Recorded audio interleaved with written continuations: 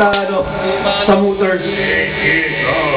Saka sa mga ibang hindi nakakasadya makalinig sa amin dun sa taas, pero nakarinig pa rin kami.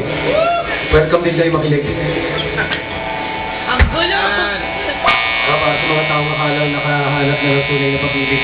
Ngayong gabi nito, dito sa ito kung saan man, basta nakakarinig ng kantang ito, para sa inyo ito. Billy Mandop. Sexy time. Gaya